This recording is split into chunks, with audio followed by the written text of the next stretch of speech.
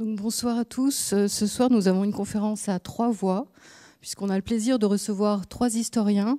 Euh, Marie Bossart, dont les travaux portent sur l'histoire de l'orientalisme savant, en Italie et en Algérie notamment, sur les circulations et l'histoire politique, sociale et culturelle de la Méditerranée au XIXe et XXe siècle. Elle est actuellement maîtresse de conférence à l'université Clermont-Auvergne. Augustin Jaumier, maître de conférence en histoire du Maghreb aux périodes modernes et contemporaines à l'INALCO, qui est actuellement en détachement à Tunis, à l'Institut de recherche sur le Maghreb contemporain. Euh, juste une parenthèse en citant son ouvrage qui était paru en 2020, Islam, réforme et colonisation, une histoire de l'ibadisme en Algérie. Et euh, notre troisième voile, hein, Messaoudi, qui est maître de conférence en histoire contemporaine à l'Université de Nantes et membre du Centre de recherche en histoire internationale et atlantique, Parmi ses nombreuses publications, citons juste Les Arabisans et la France coloniale, 1780-1930, savant, conseiller, médiateur, aux éditions de l'ENS. A signalé également l'apparition d'ici quelques jours euh, du livre L'orientalisme en train de se faire, une enquête collective sur les études orientales dans l'Algérie coloniale, donc de Marie Bossart, Emmanuel Chourec et Augustin Jaumier aux éditions de l'EHESS puisqu'à partir des archives privées d'un pilier de l'orientalisme français en Algérie, René Basset, cet ouvrage saisit l'orientalisme en train de se faire au quotidien, sur le terrain colonial, dans les salles de classe et jusque dans la confidence des familles. C'est donc une relecture de l'histoire des études orientales en invitant à repenser la notion d'orientalisme depuis l'Algérie coloniale dans la perspective d'une histoire sociale. Donc leur titre de leur conférence ce soir est Orientalisme et colonisation, l'étude de la langue arabe au Maghreb, 1830, les années 1920. Et je leur laisse la parole et vous aurez 30 minutes euh, à l'issue de la conférence pour euh, leur poser toutes vos questions. Merci beaucoup. Bonsoir à toutes, bonsoir à tous. Euh, merci d'être venus aussi nombreux. je commencerai par quelques mots de, de remerciement en, notre nom à tous les trois. Euh, d'abord pour remercier euh, l'ISM euh, et son directeur Philippe Petria et toute l'équipe qui fait un travail formidable et dire combien nous sommes contents, heureux de, participer à ce cycle de, conférences publiques hein, qui est une tradition ancienne et qui est comme ça pour nous l'occasion aussi de restituer enfin de rendre un peu à, à l'ISM de tout ce qu'il nous a donné, puisque l'ISM a compté dans nos formations, dans nos trajectoires, et que en l'occurrence l'ISM a euh, contribué aussi au financement du projet euh, sur sur Basset. donc merci beaucoup. Mes remerciements et nos remerciements aussi donc à la Bulac, autre institution parfaitement essentielle et qui là aussi a contribué grandement, notamment dans la personne de son directeur scientifique Benjamin Guichard, qui a participé au projet et qui signe un des chapitres, euh, un des chapitres de, l'ouvrage. Nous avons aussi euh, organisé de, nombreuses séances de séminaires dans les locaux euh, de la Bulac et nous sommes infiniment reconnaissants. Orientalisme et colonisation, l'étude de la langue arabe au Maghreb de 1830 aux années 1920. Il y a deux semaines, j'étais dans le sud algérien où je présentais euh, l'ouvrage euh, que Sophie vient de, citer, un ouvrage donc publié en 2020 sur, sur l'histoire d'une de, ces régions du, sud de l'Algérie. Je présentais cet ouvrage auprès des dépositaires de l'histoire qu'il raconte et la question des motivations, de mes intentions comme chercheur est souvent revenue dans les discussions. Notamment, euh, un des chirs de la ville de Guerrara m'a demandé euh, si je faisais de l'istishraq, de l'orientalisme, ou si je faisais un travail scientifique, ou encore autre chose, avec un air suspicieux. Alors en l'occurrence, il ne m'avait pas lu, et un bel échange s'en est suivi. Mais euh, j'ai pensé voilà, commencer par cette anecdote parce qu'elle elle est intéressante.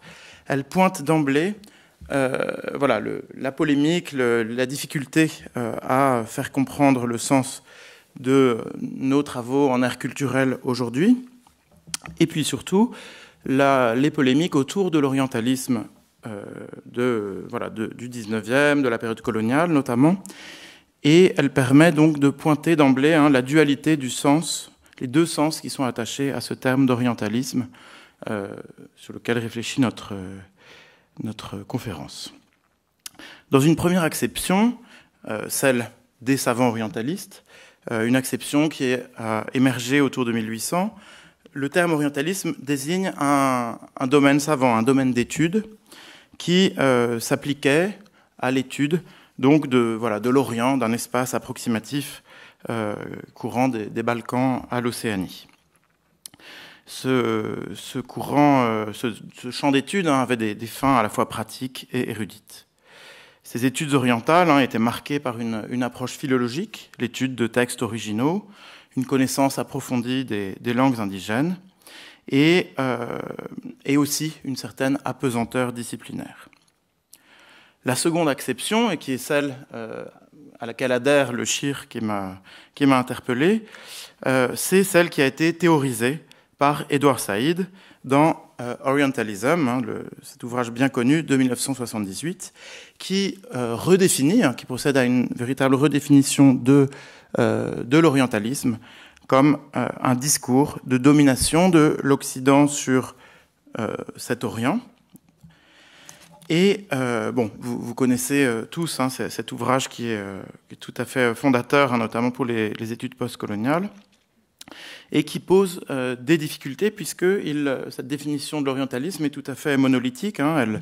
Elle, englobe euh, différents types d'études, différentes euh, périodes, des expressions littéraires, artistiques et des productions savantes, et elle impute la responsabilité à cet orientalisme, donc d'avoir causé et servi l'impérialisme occidental, impérialisme qui est tout aussi monolithique.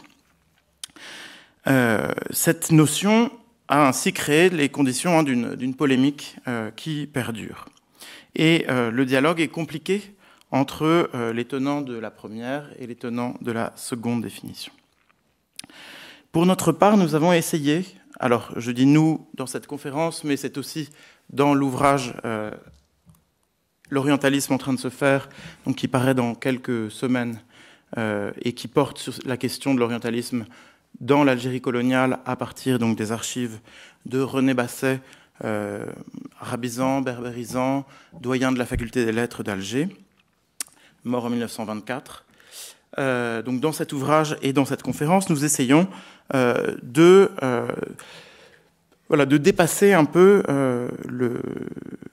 cette aporie en pensant, en, en, essayant de réfléchir vraiment à ce que devient l'orientalisme quand il se fait effectivement colonial en, donc en dépassant hein, cette, cette, définition un peu floue de euh, l'impérialisme, pour voir vraiment euh, comment, dans le moment colonial au Maghreb, quel, visage a pris l'orientalisme, quelle tournure il a pris. Euh, un petit rappel, hein, ce, moment colonial au Maghreb commence en 1830, d'où notre euh, date de, départ de, de, la conférence. 1830 jusqu'à la fin du 19e siècle, la conquête de l'Algérie. 1881, la conquête de la Tunisie qui est mise sous protectorat, et 1912, le protectorat au Maroc. Euh, et donc ici, nous allons appréhender cette question de l'orientalisme à travers plus spécifiquement le domaine des études arabes, donc euh, l'ensemble des travaux qui ont pris euh, la langue, les cultures arabes du Maghreb pour, euh, pour objet d'étude durant, euh, durant cette, cette période coloniale. Il s'agit donc d'essayer d'historiciser, de sociologiser ce qui advient de l'orientalisme dans ce contexte, voir comment, voilà, comment les, les, savants ont tiré parti d'une situation d'essor extraordinaire, hein, d'un effet d'aubaine, puisque en effet, il y avait une demande très forte du pouvoir colonial de développer euh, les études et l'enseignement de l'arabe, mais comment aussi euh, les travaux qui ont été produits dans ce contexte euh, ne peuvent pas nécessairement s'y réduire, se réduire à des relations de domination. Réfléchir aussi peut-être aux effets épistémologiques de cette situation coloniale. Qu'est-ce que cette proximité notamment du terrain, qui est très extraordinaire hein, au Maghreb, a fait à l'orientalisme? Euh, et puis aussi quelle place euh, les euh, locuteurs natifs, hein, les Algériens, Marocains, etc., ont pu, ont pu jouer dans ces études.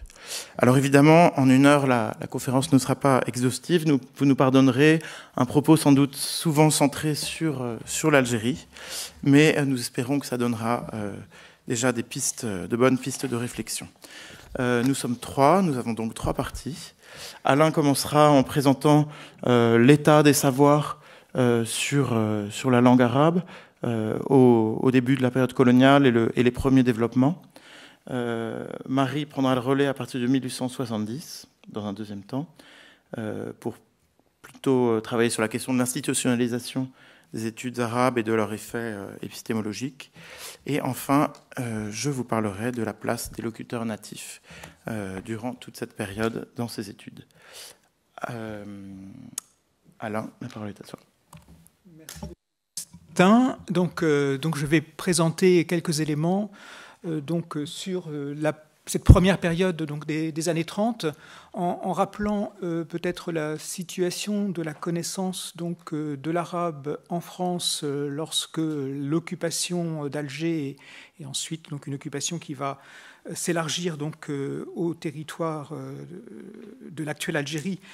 donc à partir de quelles connaissances vont, vont comment le contact va se faire entre euh, ces Français et, ce terrain et ces réalités matérielles de l'Algérie, et euh, donc en donnant quelques éléments donc, sur l'évolution entre 1830 et 1870, euh, au-delà donc de cette période dite du royaume arabe, qui en réalité comment dire, n'est pas du tout une innovation du Second Empire, hein, mais donc les logiques qui sont présentes sous le Second Empire et qui sont associées généralement à l'idée de royaume arabe et donc plutôt de, d'une arabophilie, hein, donc sont déjà présentes euh, dans les années 30 euh, sous la monarchie de Juillet.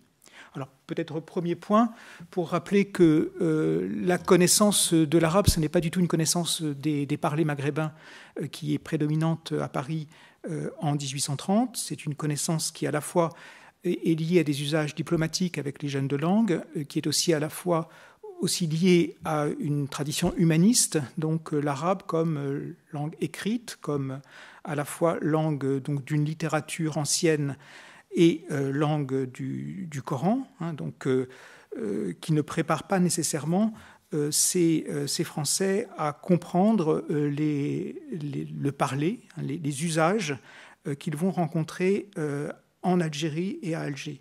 D'autant que le contact avec la langue parlée se fait surtout avec les parlers orientaux. Hein. il faut se rappeler qu'il y a une connaissance du terrain très très rapide, très courte, donc avec l'expédition d'Égypte, donc entre 1798 et, 1901, mais qui a un impact euh, en France même, puisque euh, avec le retour euh, des, armées françaises, on, aura aussi toute une série de réfugiés égyptiens, en réalité généralement des chrétiens, euh, qui vont être installés à Marseille et à Paris et qui vont fournir des, des, auxiliaires dans ce développement de la science arabe qui est incarnée par Sylvestre de Sassy, donc, qui, depuis 1795, est titulaire de la chaire d'arabe à la nouvelle, dans, la nouvelle langue des, dans la nouvelle école des langues orientales.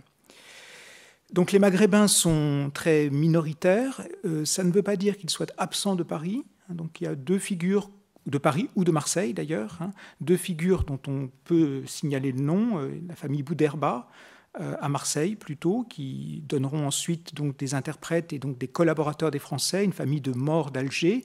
Donc c'est par le commerce hein, donc qu'il y a cette présence maghrébine, à Paris, euh, le, le personnage le plus illustre, c'est un certain Abraham Daninos, connu pour être le, fondateur du théâtre en langue arabe, puisqu'il va, être, il va créer il va écrire une pièce donc euh, un peu plus tard, euh, donc à la fin des années 1840, je pense, euh, c'est la première pièce écrite en, langue arabe. C'est un juif d'une famille livournaise, donc d'Alger, et qu'on trouve comme marchand de bijouterie dans le Marais dans les années 1820, et qui lui aussi va ensuite servir les autorités françaises. Lorsqu'il y a l'expédition, donc le gros de la troupe des interprètes n'est pas formé de maghrébins, ou en tout cas d'arabisants de, ayant connaissance des parlers maghrébins. On pourrait dire qu'il y a un tiers plutôt de Levantins, euh, donc euh, certains d'ailleurs recrutés euh, donc parmi les anciens réfugiés égyptiens, un tiers de jeunes Français qui sont frais émoulus de l'école des langues orientales, donc qui ont une connaissance livresque de l'arabe, mais pas du tout des, parlers. Et puis, c'est un tout petit tiers composée de, maghrébins, la plupart ayant été recrutés d'ailleurs à travers Tunis, hein, puisque donc c'est en fait par l'intermédiaire du consulat de France à Tunis qu'on va trouver quelques, quelques maghrébins, essentiellement d'ailleurs plutôt des juifs d'Afrique du Nord. Ce qui pose un problème donc le, lorsque sur le terrain même, hein, il faut un temps d'adaptation et euh, avec une nécessité aussi de produire assez rapidement euh, donc euh, des manuels qui vont permettre à ceux qui arrivent dans un second temps de pouvoir utiliser un, arabe pratique permettant de contrôler, d'administrer, de faire la police et de communiquer. Peut-être que je, je, faut je fasse attention à l'heure, mais donc la, la, à Alger, très rapidement est installée donc une chaire, euh, une chaire d'arabe qui est occupée en fait par un Levantin, un certain Johanny Pharaon, qui n'est pas du tout un savant, et assez rapidement il va être dégommé par un élève de, Sylvestre de Sassy, un certain Brégnier, qui lui donc a tout à fait la, comment dire ça, la formation euh, grammaticale en, arabe littéraire, euh, donc un certain purisme et qui va rester très longtemps donc euh, à Alger, en fait jusqu'à sa mort en 1867, et euh, donc qui va aussi produire d'une part un enseignement, mais aussi des ouvrages qui vont servir donc à, cette, à, ces, à ces nouveaux arrivants, essentiellement des militaires, et puis dans un second temps aussi des civils, qui vont donc pouvoir, à partir de cette chaire public d'Alger, euh, donc euh, faire l'apprentissage de la langue arabe sur place, donc avec donc une, connaissance théorique, si vous voulez, ou en tout cas de la langue écrite à travers ses cours et ses manuels, et parallèlement, donc par la pratique, par le contact avec, la, avec les populations, donc se former, se former dans la langue, dans les, dans, dans les parlers. alors de ces, de ces manuels à côté en fait de cette chaire et de, cette formation assez solide d'un point de vue, euh, euh, si vous voulez, d'un point de vue scientifique, euh, on a aussi toute une série de petits ouvrages produits par des interprètes qui vont être assez rapidement dénigrés ou en tout cas méprisés par les arabisants de profession, mais qui resteront en usage jusqu'au début du XXe siècle que ce soit donc les principes de, l'arabe de, de Laporte ou un petit ouvrage de Roland de Bussy, donc qui sont des interprètes civils et qui, euh, qui restent donc en usage, en même temps d'ailleurs aussi que, qu'une interrogation, enfin en tout cas un intérêt pour la grammaire arabe. Hein. donc Brégnier, j'aurais dû le dire avant, va éditer euh, à Joromia, donc, euh, donc s'intéresser aussi à la façon dont les Arabes, disons, réfléchissent euh, à leur propre langue. Donc, euh, comme image, hein, donc, euh, on a cet exemple de sceaux donc, qui ont été récoltés par Brégnier. Donc, ce qui est intéressant, c'est qu'on voit donc là des militaires qui se font réaliser donc, des sceaux en arabe, ce qui marque bien cette, cette arabophilie. Et donc, sur la même image, je vous ai aussi mis la page de titre du Mobasher, donc qui va être le, journal officiel en fait des autorités françaises. Ce qui est intéressant, c'est qu'on a dans un premier temps donc un journal officiel qui fait un tout petit peu de place à l'arabe en 1832 et puis ça s'efface. Il faut attendre 1847 pour avoir donc un journal officiel en langue arabe. Et là se pose euh, la question de quel arabe hein. Et euh, est-ce qu'il faut donc une langue euh, qui soit véritablement une langue littérale euh, qui ne prennent pas du tout en considération les usages locaux. Est-ce qu'il faut promouvoir euh, des parlers et en faire une langue moderne et en fait faire passer à l'écrit les parlers? Ou est-ce qu'on euh, adopte une solution médiane en créant en fait une sorte d'arabe moderne algérien? Et c'est le choix qui est fait par les rédacteurs du Mobachel. En fait, ce sont des questions qui se posent beaucoup plus généralement, hein, qui sont, on, pourrait faire le, parallèle avec euh, tous les débats qui ont lieu en Grèce au XIXe siècle entre euh, les tenants donc euh, de, des parlers du démotique, les tenants d'une langue classique reprise en fait du grec ancien, ou les tenants de la catéré vusa, donc de cette langue médiane qui va être la langue officielle, hein, donc jusqu'en, jusqu'aux années 1970, hein, jusqu'à la fin des colonels. Hein, donc là, c'est ce type de questions qui se posent aussi en Algérie. ça se pose aussi d'un point de vue scolaire. et je regarde, je ne veux pas dépasser mon temps. non, ça va encore. donc, d'un point de vue scolaire, donc on va avoir aussi la question de l'apprentissage ou de, la, de, de, l'arabe comme langue scolaire, non seulement pour les Européens, donc pour les adultes, puis ensuite la deuxième génération pour les enfants, euh, donc à partir des années 1840-50. Donc, euh, est-ce, qu'il est nécessaire de leur apprendre l'arabe et quel arabe? Alors, pour ce qui est si c'est quelque chose, des choix en fait qui vont avoir un, impact à, très très long terme.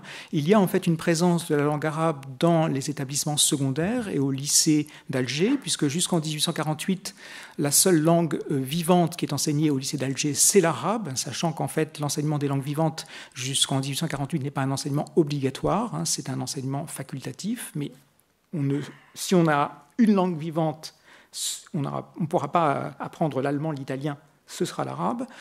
Euh, donc, mais ça reste en fait limité à une élite, hein, puisque euh, euh, la plupart des, de, ces Européens qui immigrent en Algérie ne vont pas fréquenter les collèges et les lycées.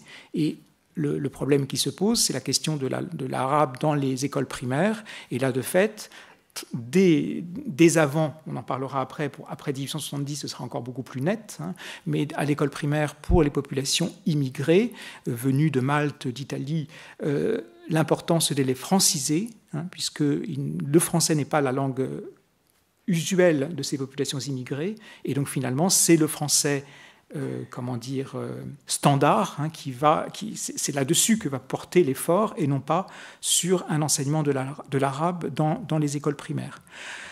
Se pose donc cette question aussi de l'enseignement euh, des populations dites indigènes, et euh, là, une, une, création va être importante donc après euh, l'instauration de la euh, Seconde République en 1848. Donc 1848 ce qui peut apparaître un peu paradoxal, ce n'est pas nécessairement une très bonne nouvelle pour l'arabe. Pourquoi? Parce que l'arabe est associé à l'aristocratie, à la noblesse, et donc on aura des républicains radicaux, dont le, célèbre docteur Baudichon, des exterminateurs, hein, pour qui l'arabe est une langue donc, euh, qui, est vouée à la disparition comme étant liée en fait à une langue aristocratique. Mais euh, cependant, ces républicains radicaux ne sont pas, euh, heureusement, pour la langue arabe majoritaire. Et euh, assez rapidement, donc, cette république va décider d'instaurer de ce qu'on a appelé les écoles arabes françaises, donc de développer un enseignement primaire à destination des élèves musulmans, mais des classes qui peuvent être aussi ouvertes à quelques Européens qui se trouvent dans ces quartiers et dont les parents sont veulent en fait qu'ils apprennent très très jeunes la langue arabe. Donc une, quarantaine d'écoles vont ouvrir euh, sous, entre 1850 et 1870, donc avec un effet. L'idée, c'est qu'il faut, euh, comment dire ça, attirer les enfants musulmans qui répugnent à entrer dans l'école française, et donc on va leur donner un enseignement le matin avec l'instituteur, euh, le directeur de l'école, donc un Français qui a une connaissance de la langue arabe, assisté donc d'un taleb, souvent en fait repris de, des anciennes structures d'enseignement. Et donc euh, l'après-midi, l'enseignement est un enseignement coranique, et le matin, c'est un enseignement français, d'une école primaire française, mais avec les explications qui se font en arabe. Et donc ces écoles vont être vont disparaître en fait lorsque le pouvoir civil va l'emporter. Hein. et donc là, ce qui est aussi donc, très important, c'est finalement le développement de la colonisation de peuplement et euh, le développement aussi de finalement d'une république, d'une démocratie, d'une démocratie qui se fait, euh, qui, est, qui est limitée en fait aux populations européennes et qui donc euh, va être avec des élus, hein, des communes, des maires qui vont être très finalement très peu intéressés, voire même un peu réticents au développement de l'enseignement de la langue arabe. Donc là, quelques images de cette euh, tournée photographique de Moulins en 1857. Hein. donc vous avez, là, c'est l'école de garçons, avec à la fois le, cours, euh, le cours du matin euh, qui est délivré, alors je ne sais jamais si c'est le matin ou l'après-midi, donc en présence du directeur de l'école. Donc là, vous voyez le tableau noir, mais si, on le voit très mal ici, mais on a à la fois aussi de l'arabe et, du français, et puis l'enseignement traditionnel, alors qui n'est pas si traditionnel que ça, parce qu'on a quand même une table et, qui est représenté dans la photo de droite. Et euh, je vous ai aussi quand même mis des photographies de l'école de, Madame Luce, donc pour évoquer tout de même la question de l'enseignement féminin, où là, c'est un enseignement qui, qui laisse beaucoup, beaucoup moins de place à un enseignement théorique ou littéraire, mais où il est quand même, on peut y voir de la graphie à la fois en langue arabe et en langue, en langue française. Je vais peut-être euh, dire euh, non, je crois que j'ai dit à peu près l'essentiel de ce que je, ce que je voulais dire. Donc peut-être quand même cette, cette idée donc euh, dans cette dans cette génération des années 1840, chez les, militaires, on a encore un idéal de fusion des peuples. Hein. donc avec la question de la fusion des peuples, quelle langue pour cette pour cette synthèse, pour cette palingénésie qui pourrait se réaliser en Algérie pour beaucoup d'entre eux, euh, c'est tout de même donc euh, finalement une sorte de bilinguisme, enfin de plurilinguisme, et, euh, donc l'idée d'une Algérie qui pourrait être arabe-française, hein, qui reste encore très vivante jusqu'aux années 1860.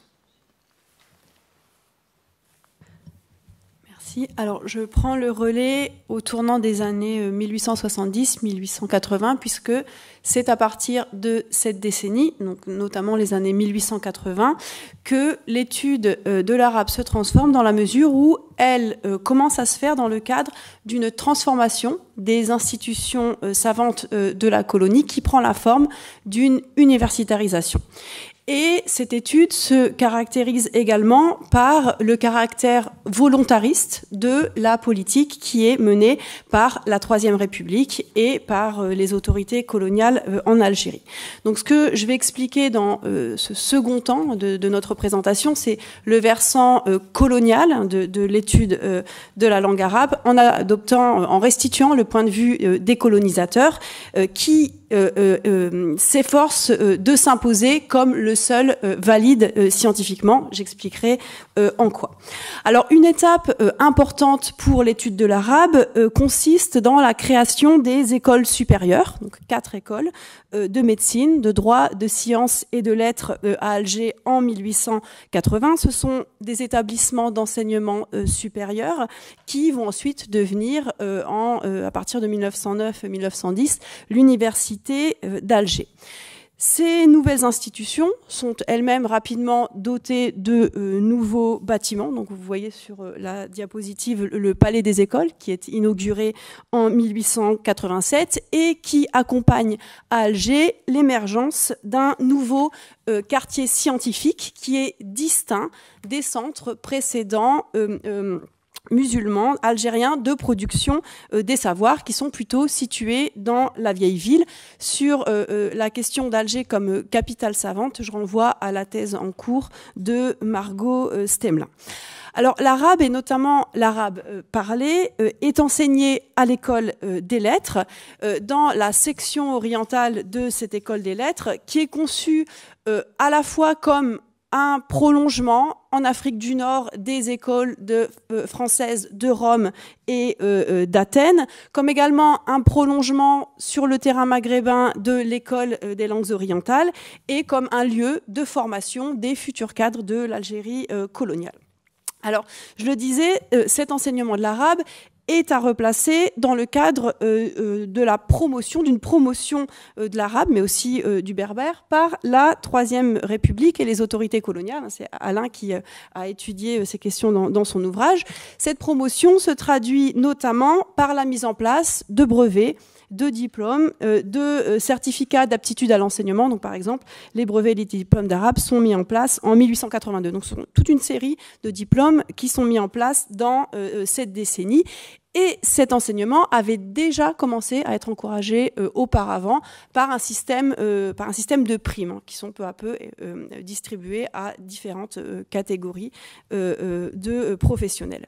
Et ces efforts débouchent sur un moment important qui est la création de l'agrégation d'arabe en 1906. Et puis ensuite, plus tard, on en a la euh, euh, réfraction dans la création d'une chaire d'arabe maghrébin aux logs orientales en 1920. Donc, qui est un peu ce qui euh, achève ce cycle. Alors, bien sûr, l'arabe continue à être enseigné dans d'autres établissements, à la fois à Alger et en Algérie, c'est ce que disait Alain, et notamment dans les lycées et les médersas, qui connaissent à cette période des réformes importantes qui vont dans le sens d'un contrôle plus strict de la part des autorités coloniales. Je pense que Augustin en euh, dira un mot. Alors, c'est au sein de euh, euh, l'école des lettres dont je parlais que prend forme à la fin du siècle, hein, dans les deux, dernières décennies du siècle, un groupe de savants réunis autour de René Basset, qu'on a déjà mentionné, et qui est appelé communément l'école d'Alger. C'est une appellation euh, informelle, un groupe dont euh, l'objectif est de conduire l'étude scientifique. Donc là, je reprends euh, les termes des principaux intéressés des, des parlers arabes et des parlers berbères. Donc, euh, on, l'a dit, hein, René Basset est spécialiste à la fois d'arabe et de berbère. Euh, il, est euh, d'origine lorraine et après s'être formé à Paris, il arrive justement à Alger au tournant des années 1880 puisqu'il obtient un poste à la faculté des lettres. Et progressivement, il rassemble autour de lui un cercle de euh, disciples hein, qui, le reconnaissent comme leur, maître. Ce sont euh, les termes, par exemple, que l'on trouve dans son, euh, dans son importante correspondance. Et à côté de ce cercle de disciples, tout un réseau d'élèves dispersés en Algérie que Basset et ses collègues n'hésitent pas à mettre à contribution pour mener à bien ce vaste projet scientifique. Ce projet scientifique consiste à relever et étudier l'ensemble des parlers arabes et berbères euh, du Maghreb, ce qui a euh, euh, été assez peu fait jusqu'alors, dans la mesure où l'accent a plutôt été mis dans les études orientales, j'entends ici en métropole, sur l'arabe classique. Donc il y a aussi ici un effet de, niche, hein, un terrain scientifique à occuper. Et bien entendu, cet intérêt pour les parler, c'est ce que disait Alain, pour, pour ce qu'on appelle alors les dialectes, est étroitement lié au contexte colonial et aux besoins pratiques de l'administration coloniale. Et donc, euh, euh, par euh, ce projet, ce qu'entend faire l'école d'Alger, c'est concurrencer directement Paris, concurrencer l'école des langues orientales, et ce faisant, s'imposer sur la scène orientaliste française, mais également européenne, dans la mesure où euh, euh, René Basset et les disciples qui l'entourent euh, correspondent avec des savants de l'Europe entière. Donc c'est un, projet intellectuel de grande ampleur. Ce projet, on peut le résumer euh, dans euh, euh, ce que l'un des membres de l'école d'Alger écrit au moment du congrès des orientalistes qui est organisé à Alger en 1905. C'est la première fois qu'un congrès des orientalistes est organisé hors d'Europe. donc, lorsque Edmond Douté écrit, il appartenait à l'école d'Alger d'appliquer à l'étude scientifique de la langue arabe les nouvelles méthodes de la linguistique moderne. J'en dirai un mot un peu plus tard. À vrai dire, elle a longtemps tardé à s'orienter dans cette voie, mais il y a quelques années, elle s'y est engagée résolument. Monsieur Marseille, avec son dialecte arabe de Tlemcen, Monsieur Bell dans sa Jazaya, L'auteur de Céline, dans un mémoire sur un texte oranais, ont presque simultanément commencé à mettre en lumière les lois qui régissent l'arabe euh, vulgaire. Alors, on a ici un projet euh, scientifique, mais bien entendu, la colonie constitue le cadre de ces recherches.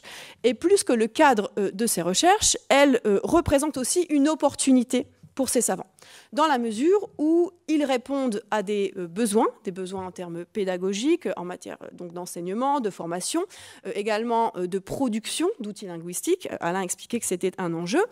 Ces savants ont aussi la possibilité de faire carrière, puisqu'il y, a justement des besoins, puis des institutions qui sont mises en place, je le disais, mais ils ont aussi, et c'est un élément essentiel, un accès direct au terrain un accès direct au terrain, c'est-à-dire la possibilité d'effectuer des missions euh, euh, assez facilement, mais également de mettre à profit les réseaux éducatifs, euh, administratifs qu'ils se constituent au fil du temps. Et j'en donnerai deux petits exemples.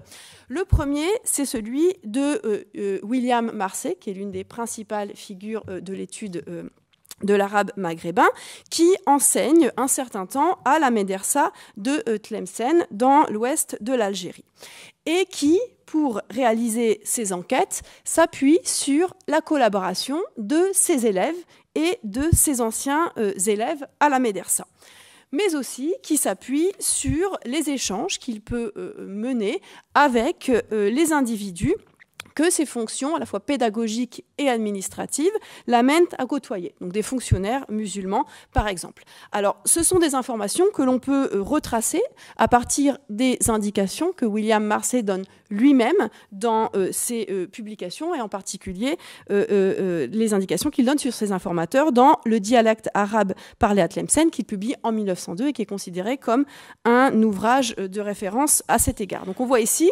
comment est mobilisé un réseau qui est à la fois éducatif et administratif. Et la, question de la manière dont on peut retracer ces informateurs sera plus largement développée ensuite par Augustin. Mon deuxième exemple porte plutôt sur euh, la manière dont se croisent euh, euh, le travail pédagogique et la recherche scientifique. Et cet exemple, c'est celui de Joseph Desparmé, qui est l'auteur d'un manuel d'arabe publié en deux volumes en 1904-1905. Hein, donc Alain, tu disais l'importance de cette question des manuels. Joseph Desparmé est professeur d'arabe au lycée de Blida. Alors ce manuel est destiné à remplacer justement tous ces manuels antérieurs devenus justement caducs euh, en intégrant les recherches menées par les savants de l'école d'Alger, mais aussi par Joseph Desparmé lui-même sur son terrain local et dans la région. Euh, euh, plus précisément, je le cite, dans les cafés, dans les écoles d'enfants, dans les chambres des nourrices ou sur les terrasses des maisons mauresques, je cite aussi un autre passage, en fouillant les cafés morts et les recueils des Médas pour trouver des morceaux de littérature populaire. Donc ce manuel est destiné aux écoles euh, de euh, la colonie.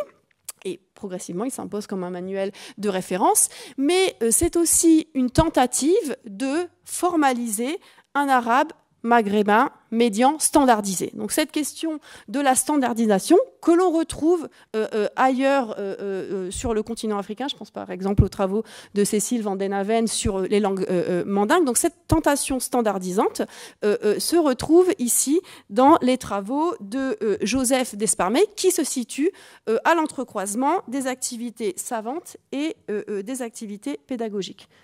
J'ai encore. Parfait. Donc je terminerai avec euh, un, dernier point sur le caractère euh, scientifique euh, de ces travaux et puis de, de ce projet collectif, puisque le cadre colonial et la possibilité pour ces savants de mobiliser des réseaux coloniaux pédagogiques, éducatifs, administratifs, etc., n'est pas contradictoire avec le fait que l'école d'Alger porte un projet scientifique euh, euh, original. Et, j'essaierai dans ce dernier temps justement de dire un mot de la nature de ce projet, c'est-à-dire d'éclaircir euh, la formule appliquée à l'étude scientifique de la langue arabe, les nouvelles méthodes de la linguistique moderne.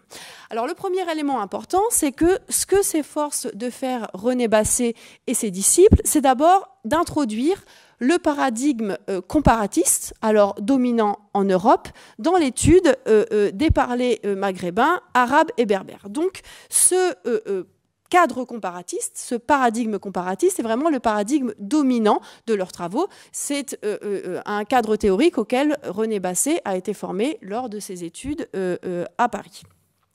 Et ce projet comparatiste explique le caractère exhaustif euh, du relevé des parlers qui est effectué dans la région par Basset et ses disciples. Est-ce que tu veux bien remettre la carte, s'il te plaît? Donc euh, ici, dans le cadre d'un chapitre qu'on a écrit avec euh, Augustin et Caroline Emma dans l'ouvrage L'orientalisme en train de se faire, on a essayé justement de relever l'ensemble des terrains occupés en proposant une photographie dans la première décennie du siècle, donc les, terrains étudiés par, par l'école d'Alger. Donc, euh, un projet qui se veut exhaustif pour mener à bien euh, une étude euh, comparatiste, ce projet scientifique passe aussi par une stratégie de publication qui marque la volonté de l'école d'Alger de marier l'orientalisme et les sciences sociales qui sont alors en cours de formation ou de renouvellement. Donc cela passe en particulier par une stratégie de publication dans des revues, qui ne sont pas seulement des revues orientalistes, mais aussi des revues de linguistique, par exemple. Et de la même manière, toute une partie des membres de l'école d'Alger euh, euh, est affiliée à euh, la Société de linguistique de Paris et à des institutions qui travaillent sur la linguistique. Donc une volonté de sortir de l'orientalisme justement pour dialoguer avec d'autres types de, de savoirs. Cela passe donc par la constitution d'une méthode, une méthode euh, proposée comme commune, qui euh, euh, réfléchit par exemple sur la manière dont doit, être conduite une mission de terrain, dont doivent être choisis et citer les informateurs à partir desquels sont réalisés les travaux linguistiques. Et l'élaboration de cette méthode, considérée comme la seule valide scientifiquement, passe aussi par la disqualification du savoir produit par les savants maghrébins dès lors qu'ils n'entrent pas euh, dans, ce cadre, dans, ce, cadre, pardon, alors même, euh, comme euh, Augustin va le montrer, que ce savoir est bien vivace à cette époque. Très belle transition, merci. Où sont donc les Algériens, où sont donc les locuteurs natifs dans ces études arabes? Alors dans ce, dans ce troisième temps, je, je m'appuie euh, en bonne partie sur deux chapitres de l'ouvrage, un, chapitre rédigé par euh, Gabriel Malek et Alain Messaoudi, et un autre par Anna Damon et moi-même.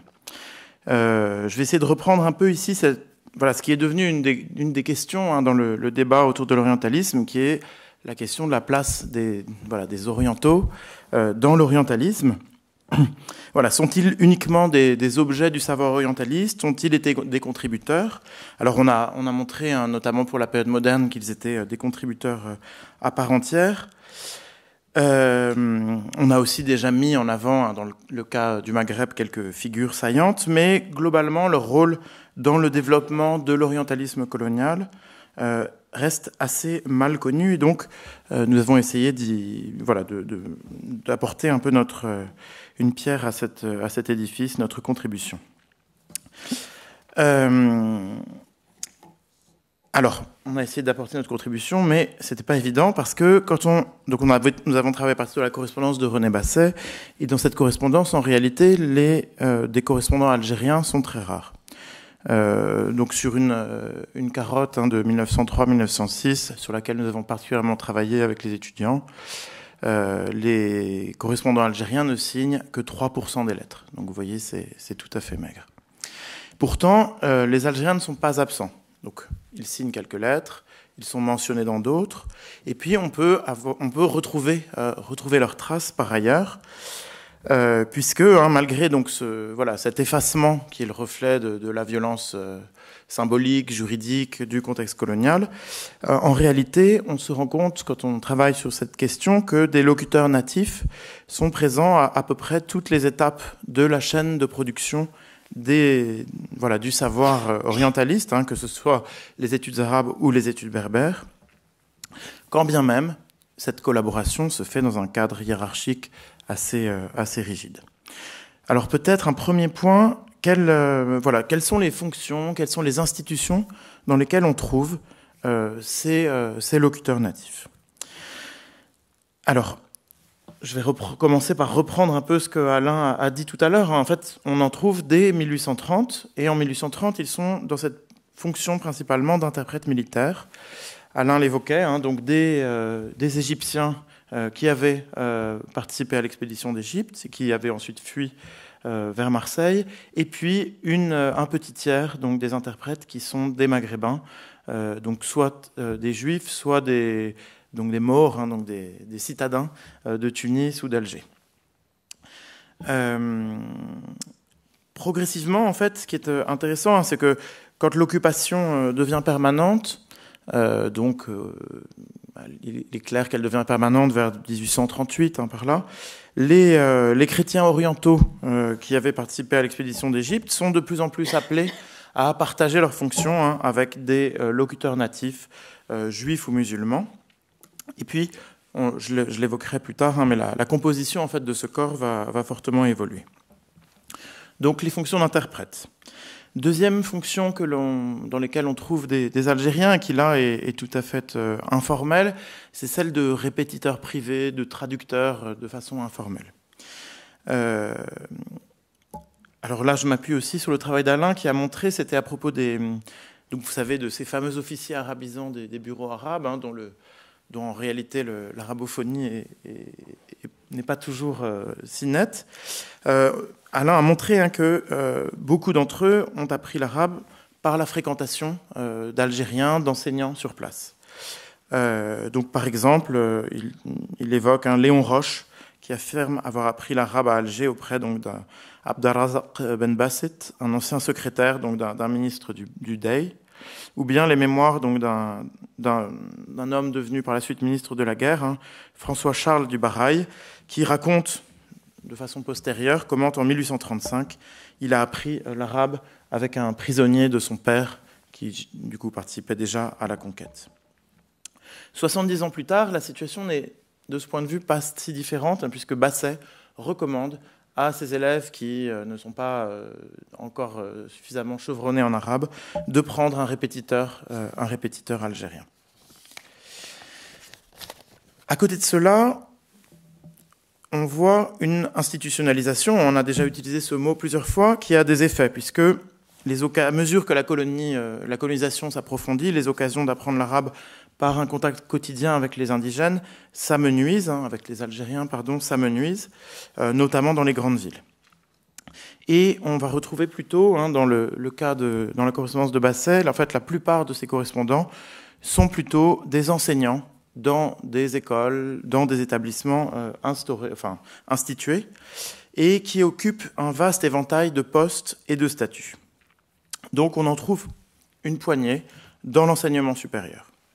Alors ils peuvent être enseignants, euh, en général plutôt des, chargés de cours, hein, à l'école des lettres ou bien à l'école normale euh, de la Bouzarea qui forme les instituteurs. Quelques-uns, une poignée aussi, forment, sont dans l'enseignement supérieur en métropole, donc des Algériens partis en France où ils enseignent, donc par exemple, hein, Abdelaziz Zenaghi, qui est répétiteur indigène, un statut qui a été créé en, 1871, si mon souvenir est bon, euh, à l'école des langues orientales euh, à Paris, ou bien euh, Ben Ali Fekkar, qui lui enseigne dans le cadre d'un enseignement colonial de l'arabe hein, à, la, à la Chambre de commerce de Lyon. Certains exercent aussi dans le secondaire, et là on les retrouve surtout dans euh, ces établissements secondaires à destination des étudiants euh, dits euh, musulmans, donc principalement les, les médersas, donc ces trois médersas supérieurs hein, de Constantine, Tlemcen et Alger, qui forment les fonctionnaires musulmans hein, pour, le, pour le culte, la justice et aussi l'interprétariat. Et enfin, on en trouve quelques-uns euh, pardon, dans l'enseignement secondaire euh, public, euh, enfin, disons, destiné principalement aux Européens. Donc, par exemple, Ben Abdelrahman, qui est professeur de collège à Tlemcen, ou une institutrice, Yamina La'arab. et, last but not least, des enseignants dans les, dans les mosquées du culte, enfin des, enseignants salariés par l'État pour donner des, cours soit de grammaire arabe, soit de fiqh, soit de, de kalam dans les euh, mosquées financées par l'État français. Donc vous voyez une grande diversité d'institutions et globalement hein, des, Algériens qui sont cantonnés à des positions euh, dans un enseignement euh, voilà, de, bas niveau et, non pas dans l'enseignement supérieur. Dans les correspondants de, Basset, on trouve beaucoup moins d'interprètes euh, et je l'expliquerai un peu plus tard, et surtout des interprètes qui sont tous euh, voilà, des Algériens musulmans et non plus, et non plus des Juifs. Euh, en effet, hein, en regard de la période moderne et des premières décennies de, de, la colonisation, les minoritaires juifs et chrétiens en fait ont déserté, ont déserté cette profession. On ne les trouve plus à partir des années 1880. Euh, en réalité, hein, ils, ont, connu des trajectoires d'insertion dans la société coloniale qui leur ont donné accès à d'autres métiers et qui parfois même euh, leur ont fait perdre la maîtrise de l'arabe. Hein, c'est notamment le cas des, euh, des, populations juives. Et donc, ils ont d'autres voies de promotion et on ne les trouve plus dans ce type de, métiers liés à la langue. Enfin, dans les correspondants de, de Basset, on trouve tout simplement aussi une, une catégorie des gens qui n'occupent pas de fonction mais qui sont curieux des études arabes. Donc certains Algériens qui s'intéressent aux travaux menés à l'école d'Alger. Donc c'est euh, pour cela qu'il y a cette lettre voilà, qui illustre le type de document qu'on trouve dans le fond, mais qui montre aussi plus spécifiquement, voilà, ici la demande d'un caddie, d'un caddie de Tlemcen, euh, donc le caddie. Euh, ah, pardon, celui-là, c'est celui de Constantine. On en a deux, en fait. Au moment du congrès des orientalistes en 1905, deux caddies écrivent à Basset pour témoigner de leur intérêt pour ce congrès. Donc, un premier, le caddie de Tlemcen Abou Bakr, qui lui écrit en arabe. Et c'est intéressant parce qu'il évoque euh, d'abord El-Mu'tamar, El-Lurat et Sharqiya, donc le congrès des langues orientales, et il l'évoque ensuite comme un congrès de linguistique, El-Mu'tamar El-Lurawiya pour lequel il s'intéresse et auquel il, euh, voilà, il, évoque ses propres travaux sur l'arabe et le syriaque. Et puis on a donc ce, ce cadi euh, ibadite de, de, Constantine, qui, vous voyez, écrit euh, lui en français, mais qui signe malgré tout en arabe avec, avec son sceau. Donc un, un éventail assez large hein, d'Algériens qui peuvent s'intéresser à ces travaux, même si en réalité, quantitativement, hein, ce sont, évidemment des individus très isolés. Très isolés parce que, à mesure que l'institutionnalisation de ces études arabes s'est renforcée, la hiérarchisation, une hiérarchisation très forte a été de pair.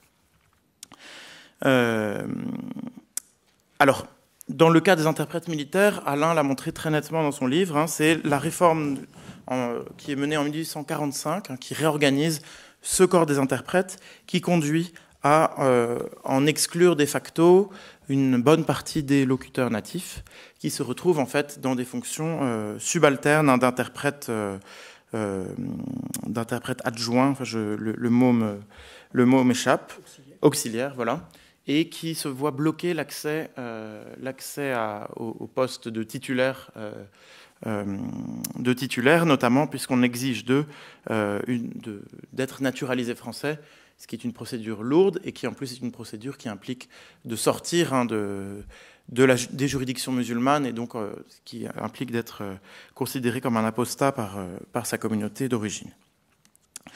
Des mécanismes relativement comparables sont à l'œuvre dans les métiers de l'enseignement, où soit des, des, voilà, des exigences en termes de niveau de français, soit de, de statut juridique, soit, disons, le, des mécanismes d'exclusion euh, dus au, euh, excusez-moi, à la, à la, cooptation, en fait, les mécanismes d'exclusion à, à l'œuvre dans la cooptation des, des, enseignants et des enseignants-chercheurs excluent de fait une bonne partie, une bonne partie des, des locuteurs natifs, des Algériens. Donc on a, on a deux exemples qui, qui sont intéressants. celui de Mohamed Souhala, qui est euh, instituteur, enfin qui est répétiteur à l'école normale d'Alger, qui a rédigé lui-même un, manuel, un manuel d'arabe euh, dialectal algérien, et qui, euh, malgré, malgré une thèse de doctorat, se voit barrer l'accès à l'enseignement supérieur par les professeurs de l'université d'Alger. Un autre, euh, un autre cas est intéressant, mais je vais peut-être euh, accélérer, c'est celui de euh, Taleb Abdeslam, hein, dont on voit dans la correspondance avec Basset qu'il il s'efforce hein, d'entrer dans une trajectoire quasiment d'assimilation. Hein. Il essaye de passer du temps en milieu français pour apprendre mieux le français. Il étudie à l'école supérieure d'Alger et il se voit malgré cela barrer la voie de l'enseignement supérieur.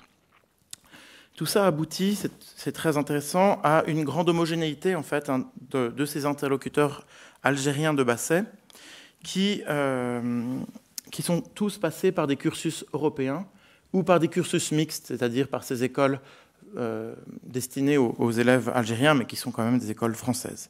Aucun n'est issu uniquement de cursus vernaculaires. Et la voie royale hein, pour entrer dans l'école des lettres, pour les quelques Algériens qui y parviennent, euh, c'est l'école des lettres, ce sont ces, institutions d'enseignement supérieur françaises. Donc on a un groupe qui est socialement et, euh, académiquement extrêmement situé, et aussi géographiquement, euh, puisque vous voyez que ça, en fait, c'est l'exact inverse de la carte, enfin de la répartition des populations algériennes. Les Algériens qui accèdent à ce monde des études arabes vivent dans les centres de colonisation. Ils ne vivent pas là où vivent la majorité euh, des Algériens. Donc, malgré tout, un, monde, un monde d'exclusion euh, très fort. Et dans ce, voilà, ce petit monde d'élus des études arabes, leur visibilité est, très variable en fait selon, les moments. Et je, finirai sur ce point. Une visibilité sous contrôle. Alors une première visibilité qu'on observe comme un peu croissante à la fin du 19e, puisque, Marie le mentionnait tout à l'heure, au tournant du siècle, les savants de l'école d'Alger, pour des raisons euh, voilà, scientifiques, hein, de, scientificité de leurs propos, prennent de plus en plus le soin de mentionner leurs informateurs. Donc, euh, on a des notes de bas de page, des remerciements, des préfaces qui permettent de savoir qui ont été les informateurs de William Marsay et d'autres. Et une bonne partie de ces informateurs, on les retrouve dans la correspondance, puisque ces gens se tiennent tous. Hein. Ce sont souvent des élèves ou des enseignants, des médersa, euh, des répétiteurs qui ont aidé l'un ou l'autre et qui euh, euh, aident aussi Marseille, par exemple, pour son travail de dialecte. Dans le domaine éducatif aussi, la visibilité des Algériens est variable et elle est souvent fonction d'opportunités politiques. Et Alain a montré là, dans, son livre hein, que les élites de la colonie euh, les, disons, les administrateurs, les, politiques ne s'accordent pas sur ce point. Donc, par exemple, j'évoquais tout à l'heure Ben Abdelrahman, qui est professeur de collège à Tlemcen, qui ensuite devient professeur au lycée d'Oran, donc qui lui est un Algérien, et qui est un des rares euh, enseignants algériens qui, qui s'habille, euh, qui porte le, costume, un costume dit traditionnel, et qui a conservé son statut musulman. Et lui, il obtient une chaire au lycée parce qu'à ce moment, le gouvernement général cherche à mettre en avant des enseignants euh, algériens euh, visibles. Euh, ce, choix, qui, fait, débat hein, dans, le, haut rectorat, est sans doute à rapporter au contexte donc, de la compétition autour du Maroc au milieu des années 1900, qui pousse hein, les dirigeants de la colonie à mettre en avant, c'est assez connu, une politique musulmane de la France qui serait bienveillante envers, euh, les Algériens. Ce même moment, c'est celui du congrès euh, des orientalistes d'Alger, où là aussi, un certain nombre d'acteurs algériens sont mis en avant hein, dans le comité d'organisation, dans le comité d'honneur, et quelques-uns participent, euh, même s'ils sont peu nombreux.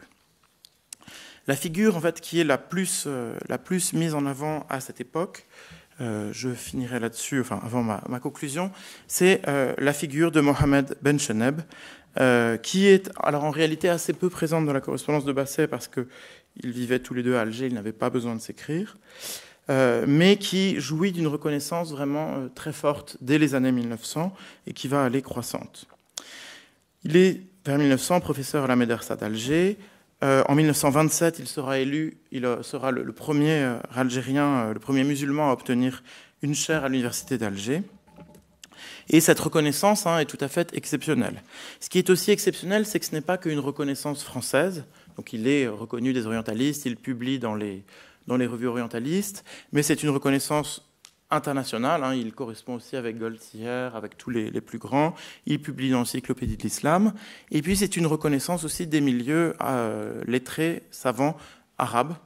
Donc on a un, homme hein, qui est vraiment euh, à cheval entre deux scènes, euh, entre deux scènes intellectuelles, ce qui peut expliquer en bonne partie hein, son, aussi sa, promotion, puisque les autorités coloniales euh, ont, eu à cœur de promouvoir une personne à même de faire le pont entre les élites euh, savantes de la, européennes de la colonie et les élites aussi lettrées euh, arabes d'Alger.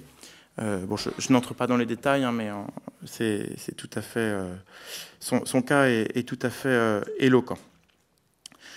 donc on a une présence d'Algériens, voyez, qui est discernable dans une multitude d'institutions un peu toutes les étapes de la fabrication des, travaux euh, orientalistes, enfin, d'études arabes euh, de l'Algérie coloniale, mais en même temps une structuration hein, qui est à l'image de la société coloniale, euh, extrêmement hiérarchique, et dans laquelle les contributeurs algériens ne sont visibles que ponctuellement, pour peu que leurs confrères ou que leurs patrons européens le veuillent bien.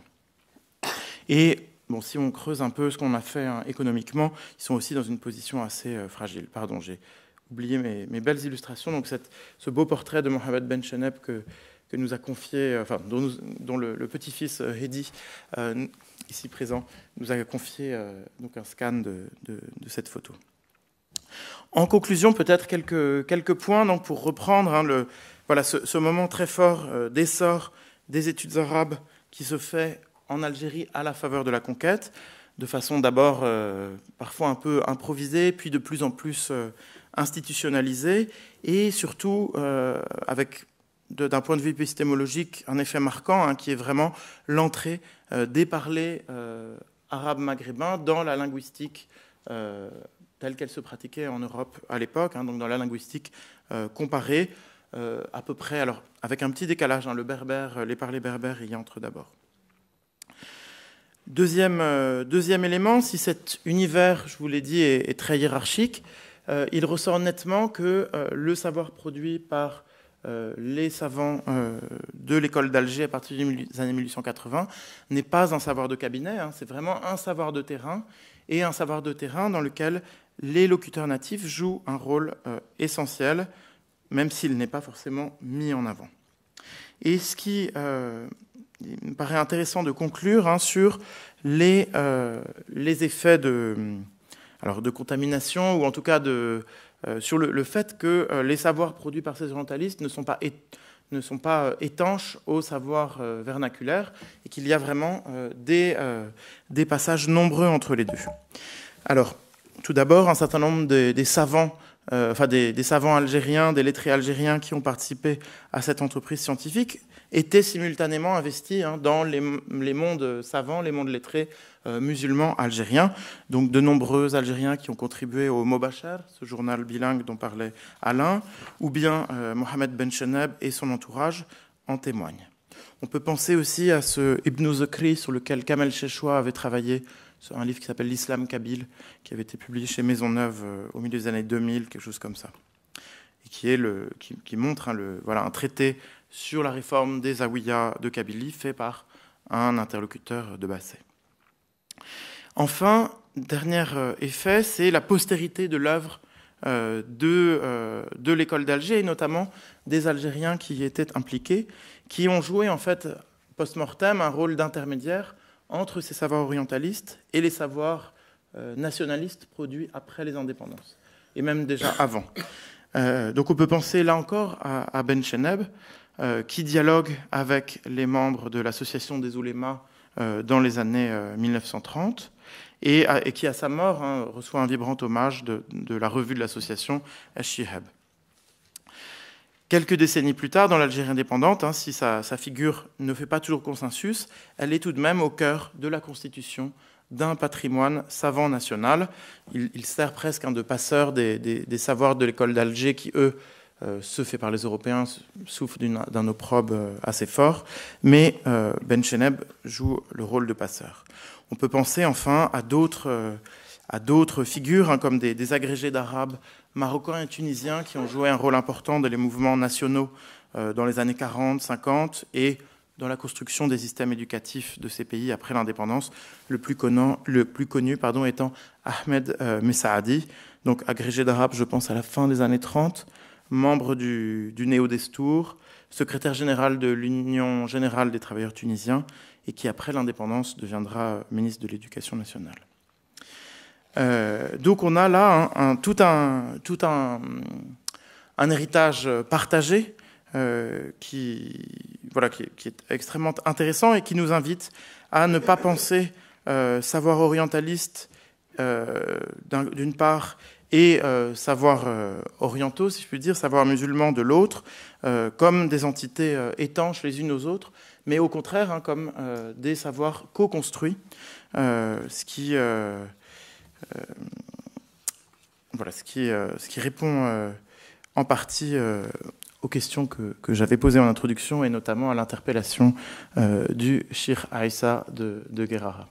Je vous remercie beaucoup pour votre écoute patiente et nous nous tenons euh, à votre disposition pour les, questions.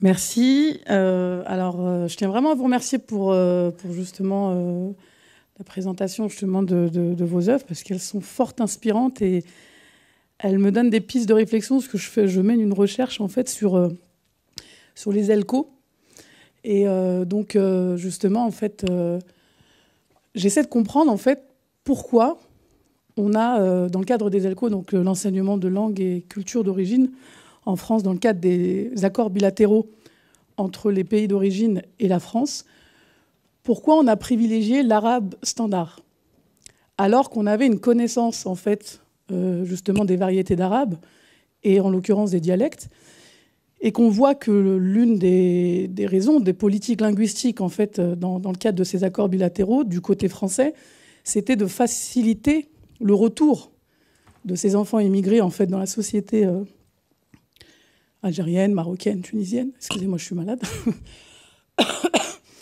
Et donc, euh, donc je, me, pose la question en fait euh, de pourquoi en fait avoir fait le choix, enfin, du, point de vue français, euh, de l'arabe standard plutôt que l'arabe dialectal.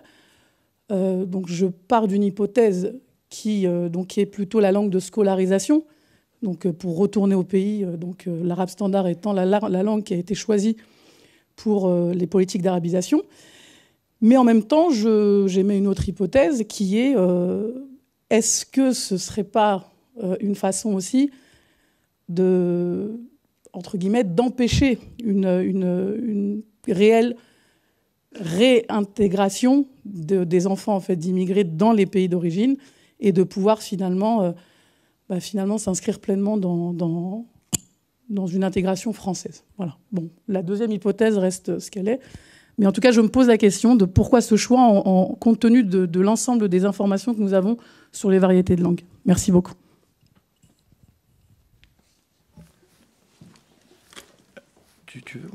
Euh, alors, euh, merci beaucoup pour votre question. En fait, ce qui, fait écho hein, à des débats euh, dont on n'a pas eu le temps de parler, mais le, cette question de quelle langue enseigner et, des, et de la hiérarchie, des jugements de valeur portés euh, envers les, les parlers du Maghreb. Hein, et, c'est un peu le, le, serpent de mer de toute la période coloniale et encore depuis. Je pense dans le, dans le cas que vous évoquez, enfin je je sais pas, je, je suis un peu sceptique sur le, la volonté d'empêcher euh, euh une, une réintégration. Je dirais qu'il y a plutôt, euh, c'est plus facile de trouver des enseignants pour l'arabe standard, puisque en fait les, les, enseignants d'Alcos viennent du Maghreb et au Maghreb, on n'est pas formé à enseigner les parler. Euh, la deuxième chose, c'est, j'imagine, le modèle euh, de la scolarisation au Maghreb, où euh, on apprend l'arabe standard, on n'apprend pas l'arabe dialectal à l'école. Et du coup, vous le dites, hein, c'est en, effet le pouvoir être réinséré dans les écoles. Et puis, euh, peut-être quand même que du côté de l'inspection générale et des cadres en France, il y a quand même une, vision un peu hiérarchique euh, de la langue arabe qui, met, euh, voilà, c'est juste une hypothèse, hein, mais qui met quand même le, le, le le littéral, au-dessus euh, au-dessus des dialectes. Voilà, moi, c'est les trois éléments de réponse que j'ai. Je sais pas si. Je pense qu'en fait, il y, a, en effet une, grande dévalorisation de, des parlers, en fait. je pense qu'il était particulièrement net dans les années, dans les années, encore dans les années 70 donc, euh, qui, joue, et, donc aussi un rapport à la langue. Donc il fallait déjà former, enfin, on n'a pas formé euh, des, euh, des, enseignants à l'enseignement de, la langue parlée. Mais c'est vrai qu'il n'y a pas eu de, réflexion, en tout cas de, volonté politique de ce point de vue-là, je pense, et, assez partagée sans doute des deux côtés. Enfin, après, il faudrait, c'est vous qui allez étudier, qui allez pouvoir voir les choses en interrogeant les acteurs qui sont euh, est-ce qu'il y a eu des débats euh, Ça, je ne sais pas.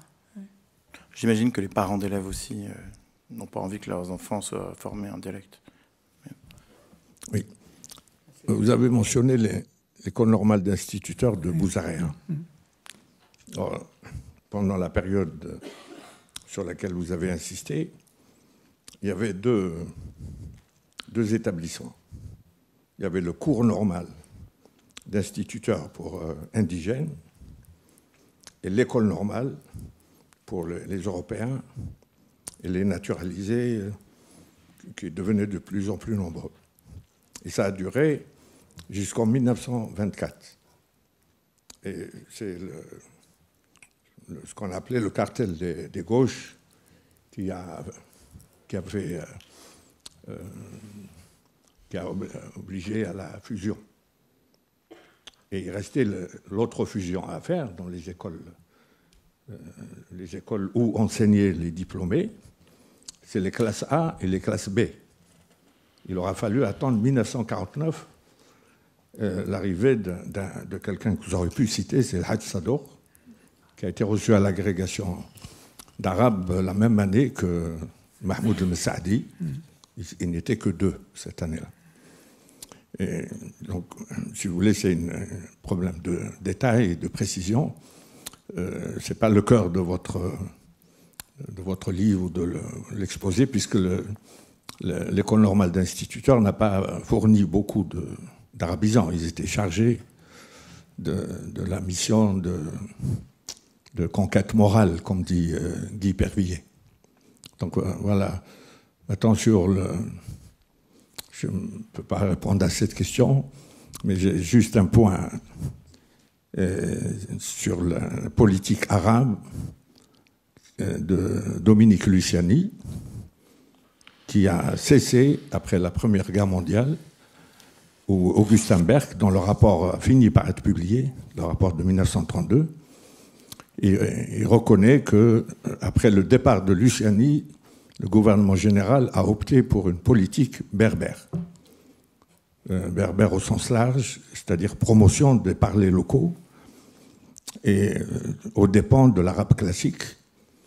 Et Augustin Berg insiste là-dessus parce qu'il lui semblait euh, que c'était la, raison de la création de l'association des ulama, qui, elle, voulait euh, affirmer les droits de l'arabe classique. Merci, Monsieur Selam. Euh, oui, oui. Alors, comme on s'est arrêté dans les années 20, on n'est pas été jusque-là, mais euh, évidemment, on aurait pu parler de, notamment du décret de 1931 qui fait de l'arabe une langue étrangère dans l'Algérie. Et en effet, hein, l'entre-deux-guerres est un moment de, durcissement, de, durcissement de ce point de vue. Euh, bonsoir, merci pour votre euh, intervention. Euh, j'aimerais rebondir sur une question peut-être marginale ou périphérique concernant la, la, cristallisation de l'identité berbère comme peut-être opposition, de sorte à créer un antagonisme avec l'identité, les identités arabes locales. Est-ce que vous avez constaté une forme de un, un contre-projet, pour dire un projet qui va venir contrebalancer l'arabe standard par un projet de euh, standardisation des parlers berbères. Je pense aux travaux en l'occurrence de Ramzi Louiri, euh, entre autres euh, de Annie Eznef, sur l'idée d'une production d'identité berbère, mais qui va venir contrebalancer une identité arabe, mais par le biais de la langue, par le biais d'une standardisation des différents parlers locaux, où on sait qu'il n'y a pas forcément de philum au niveau... il n'y a pas forcément d'intercompréhension voilà, est-ce que vous avez une piste à ce niveau-là? C'était juste ma question. Merci.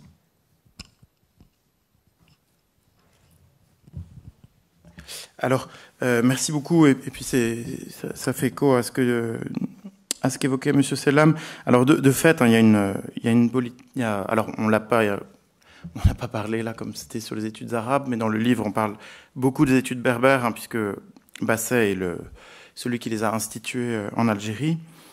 Euh, alors il y a une politique très volontariste hein, de, description des différents parlers berbères, systématique à partir des années 1880, bien avant les parlers euh, arabes, enfin deux décennies avant.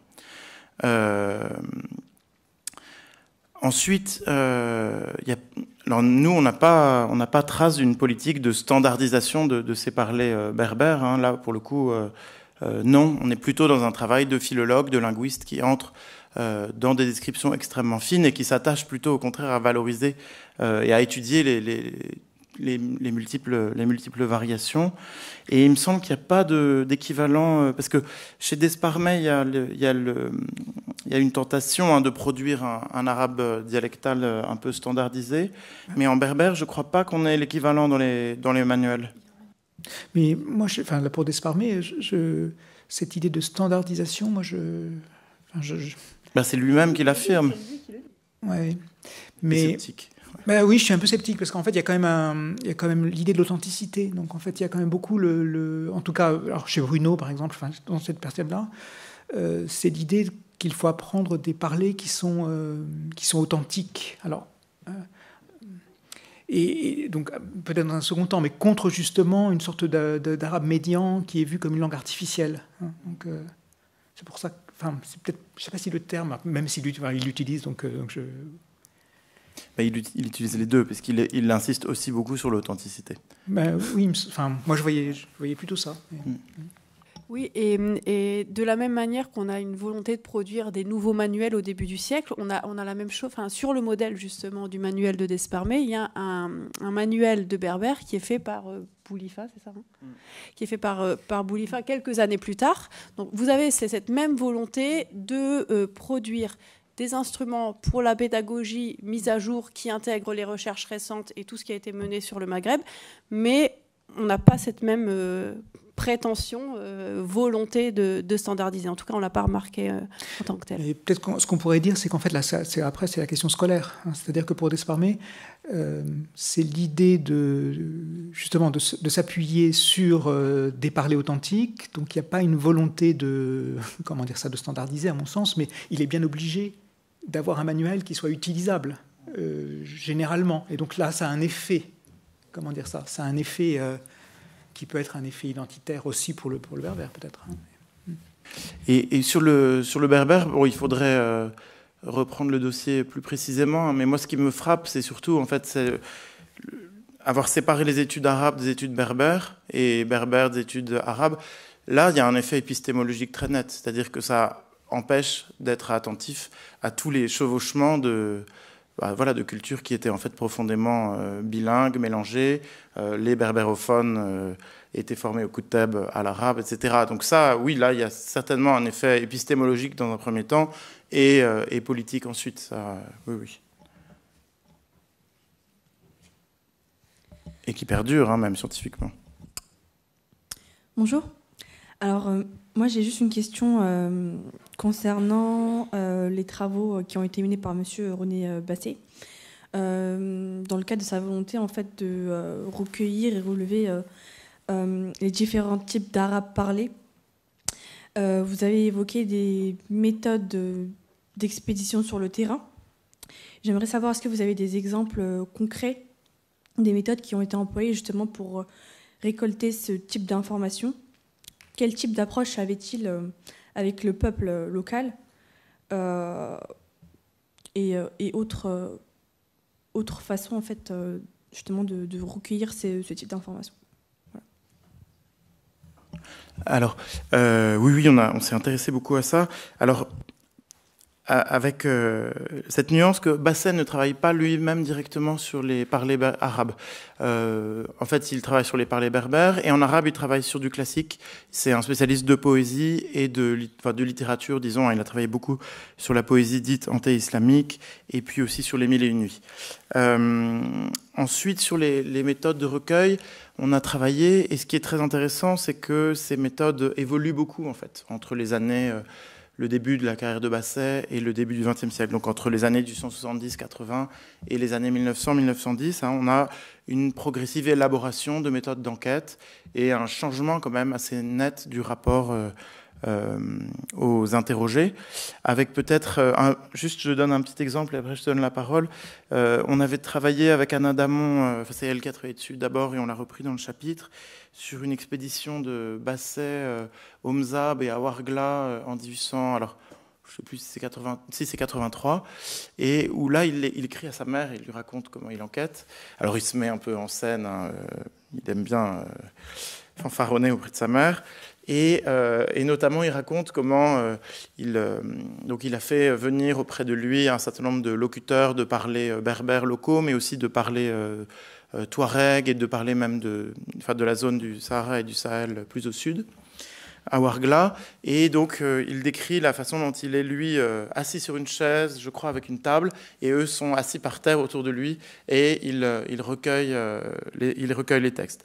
Donc là, on a voilà, vous avez une certaine idée du, rapport de, hiérarchique dans lequel ça se fait, mais euh, c'est les choses qui évoluent, notamment ce, terrain et les autres terrains de basset dans les années 80, donc pour le berbère, sont des terrains extrêmement rapides. Il va très très très vite, et puis quand il n'a pas le temps d'y aller lui-même, il se débrouille pour récupérer des textes. Donc il n'y a pas, euh, voilà, il a pas une méthodologie euh, extrêmement nette comme on l'attendrait aujourd'hui. Mais les choses évoluent.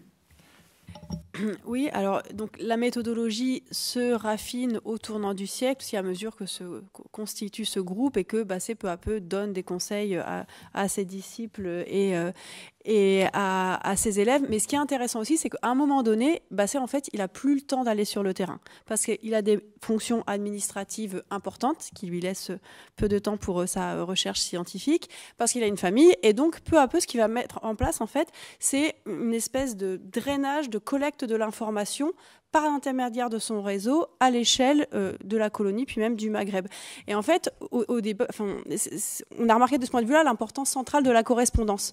Donc nous, au départ, la correspondance de Basset, on l'utilisait comme une source. Donc là, c'est super, on a une source très intéressante qui va nous montrer un peu les, les coulisses de la collecte, comment les individus procèdent. Et peu à peu, on s'est rendu compte qu'en fait, sa correspondance, c'était un instrument de la collecte. C'est-à-dire qu'il a euh, donc ses disciples qui sont un petit peu partout, des, élèves qui, par exemple, sont en train de préparer un diplôme, un brevet, qui travaillent au fin fond de l'Algérie et qui lui envoient des exercices à corriger. Et lui, en échange, il demande est-ce que vous pourriez pas me chercher ça euh, Qu'est-ce que vous avez trouvé? Et donc, il récupère comme ça de, des, informations qui viennent de l'ensemble de l'Afrique du Nord, donc en Algérie, puis ça s'étend. Il y a des choses en Tunisie, puis dans un second temps, au début du XXe siècle, euh, au Maroc. Et donc, il, il collecte euh, l'information, euh, enfin, il draine l'information à distance par l'intermédiaire de, euh, de, sa correspondance. Et donc, il peut s'appuyer sur des instituteurs, des interprètes, des administrateurs, etc. Et tu veux dire un mot sur non, mais je voulais dire que un dernier tout petit tout petit mot, c'est quand même que c'est à Alger que s'élaborent le, les, les travaux de, de Marcel Cohen, euh, qui donc à la fin des années 1910 fait, euh, fait un travail hein, sur le parler des juifs, euh, des juifs d'Alger, et où là on a progressivement un, changement épistémologique fort et l'émergence de, ce qui va devenir la sociolinguistique, qui est beaucoup plus sensible, hein, alors qui n'est plus en quête d'un parler, d'un parler pur, qui témoignerait d'une langue originelle, mais qui s'intéresse plutôt au contact de, de langues, aux variations. et alors le manuel de Marcel Cohen, c'est dans les années 20, par contre, son manuel de méthode, c'est un peu plus tard. 27. Et alors, bon, c'était un peu le, un serpent de mer de notre recherche. On a essayé désespérément de trouver des traces de, Marcel Cohen dans la correspondance, de voir s'il n'avait pas rencontré Basset et tout, et on n'a trouvé aucune trace. Donc peut-être que Marcel Cohen a élaboré tout ça euh, sans vraiment l'aide de, Basset. Par contre, on sait qu'il était en lien avec, avec euh, Marseille et donc c'est probablement plutôt par les, travaux de, autour des travaux d'arabisants de, Marseille hein, que, se, que se passe quelque chose de ce point de vue-là.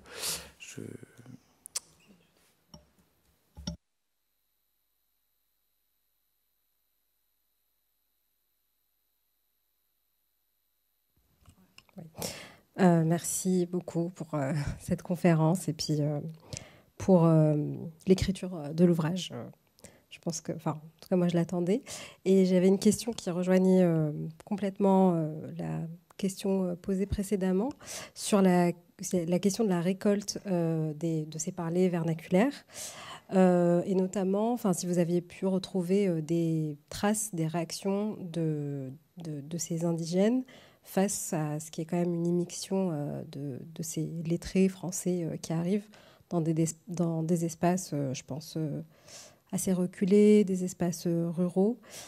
Euh, donc voilà, si vous aviez des, traces dans les, correspondances, par exemple, de Basset, mais aussi euh, la deuxième question qui rejoint la première, c'est quel, est l'impact possible, si vous avez réussi à trouver la réponse à cette question, l'impact de la récolte, l'impact de la récolte sur le,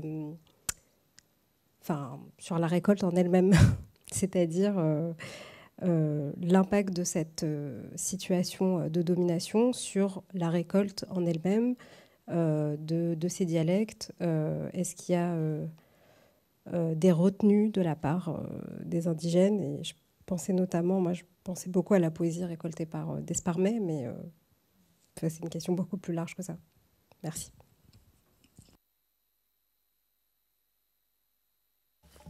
Alors, euh, merci beaucoup Sarah pour ta question.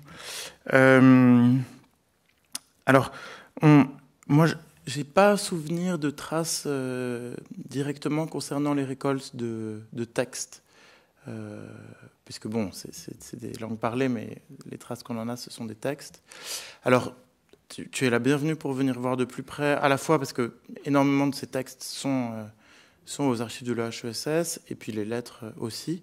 En revanche, je peux te répondre, euh, peut-être c'est un, petit détour, mais on a des traces nettes de la réaction d'un shir à qui Basset voulait prendre ses manuscrits, par exemple. Euh, donc là, c'est à Kenatsa, 1904, 1905, je ne sais plus exactement. Et c'est très intéressant parce que donc c'est euh, un géographe de l'école d'Alger qui est dans les bagages de l'armée française au moment où elle grignote le Maroc, euh, qui repère dans la zawiya de Kenatsa des manuscrits intéressants pour, enfin qui pourraient être intéressants pour Basset. Notamment, il y a un commentaire sur la poésie anté-islamique. Et, et donc, il prévient Basset. Basset a un élève un ancien étudiant qui est interprète militaire là. Et du coup, il lui écrit pour lui dire d'aller voir, de demander au Chir un inventaire.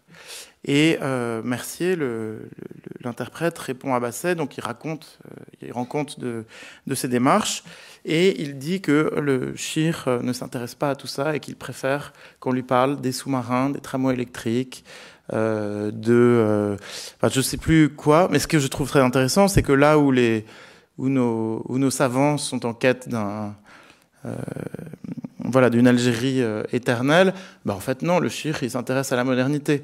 Donc euh, peut-être qu'il est voilà, étonné qu'on s'intéresse à ces vieilleries.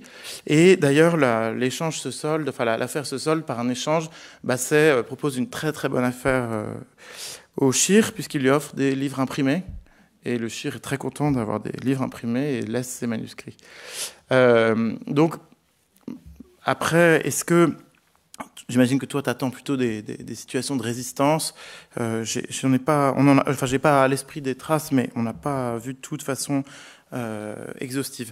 Ensuite, sur les, biais que ça peut induire dans ce qui est récolté, là aussi, je te réponds par un détour. Moi, j'avais été frappé euh, dans ma thèse en travaillant sur un, une chronique faite par un shir euh, Ibadit Dumzab à la demande d'Émile Masqueret le prédécesseur de Basset à la tête de l'école des lettres, et eh ben, le Chir il se met à donner des dates de fondation, par exemple, alors que normalement, dans les récits de fondation, on ne donne pas de date. Donc il y a un certain nombre de, voilà, d'informations un peu euh, dont on voit qu'elles sont là sur commande et qui sont devenues du, savoir euh, vernaculaire, euh, ou qui sont devenues authentifiées. Maintenant, on trouve les dates dans l'encyclopédie de l'islam, etc., alors qu'elles ont probablement été tout à fait inventées sur le moment. il faudrait voir dans, les, oui, dans ce qui est les poésies aussi. Je ne sais pas si vous vouliez compléter.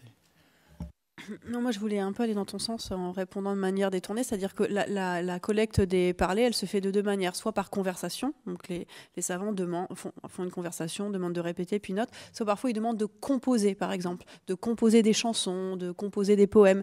Et donc euh, euh, là, on voit que leurs interlocuteurs, en l'occurrence, s'exécutent, puisqu'ensuite ils reviennent avec ça, puis ils les envoient à basser.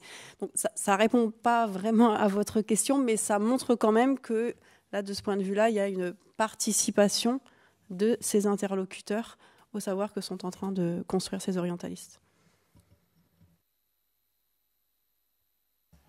Et, peut-être un, dernier mot là-dessus, qui est sur un point que je trouve très intéressant, c'est que quand on regarde les, enfin, il faudrait le faire de façon plus systématique, hein, mais les textes berbères récoltés par euh, Basset, c'est vraiment frappant de voir comment, euh, en fait, ils sont, bon, quasiment tous, ou en tout cas dans, la décennie 1880, en, écrit en caractère euh, arabe. Donc il y a vraiment, je pense qu'il y avait quand même une habitude, enfin une, une, facilité beaucoup plus grande à écrire tout ça en, en caractère, euh, arabe, et qui là encore hein, va dans le, sens de ce que je disais, hein, la séparation un peu artificielle que les, que les deux champs, études arabes, études berbères, ont produite euh, progressivement entre des cultures qui, qui étaient extrêmement entremêlés. On s'arrête là. Euh... Oui. Alors, merci beaucoup.